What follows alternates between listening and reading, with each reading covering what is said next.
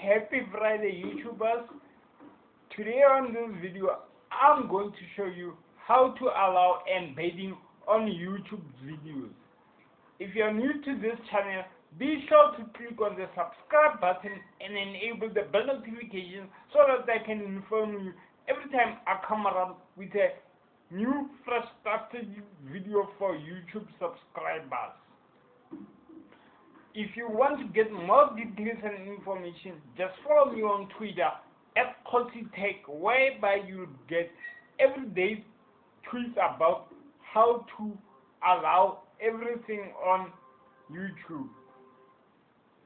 Okay guys, the first thing that we're just going to do is to go to our URL bar you go to Chrome browser or you can use Safari if you are using an iOS then go into the settings range there.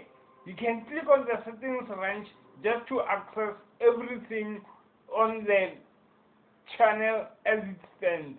So if you see after clicking there you can have a look. It's written basic info then you can go in there, then go into advanced basic info.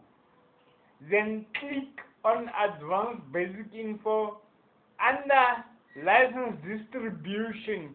is where you can allow embedding.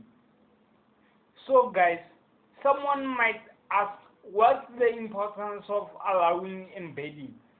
Embedding simply means just to allow edition of some sort on your videos. Because as it turns out YouTube and Google they've closed down this setting.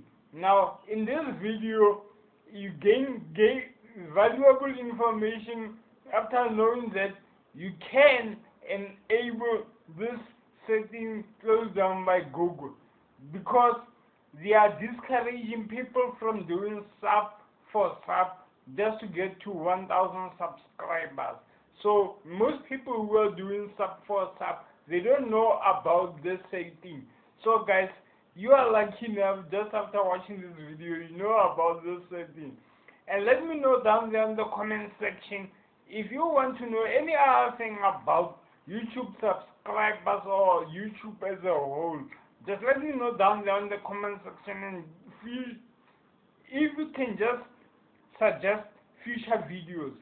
Thank you guys for watching and if you do want to continue watching, I've got great tech videos you can watch on this channel. You can click on the channel after this video. Thank you guys for watching. Hoping to see you once again. Have a nice one.